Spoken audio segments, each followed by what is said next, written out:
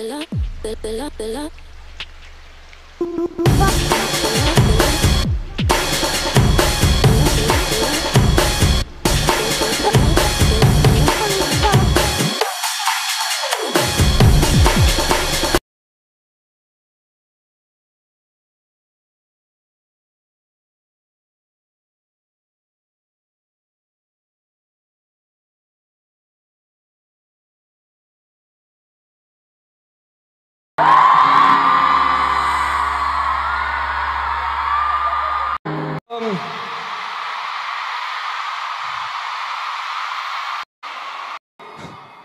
유독 큰 것 같아요.